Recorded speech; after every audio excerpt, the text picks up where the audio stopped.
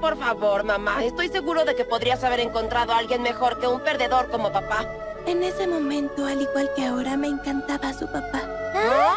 ¿Ah? No puede ser. No me digas que te enamoraste de papá desde que eras niña. ¿Desde entonces se amaban los dos? Ah, no importa, olviden lo que dije. Ya, mamá, dinos. ¡Olvídenlo! Por favor, dinos.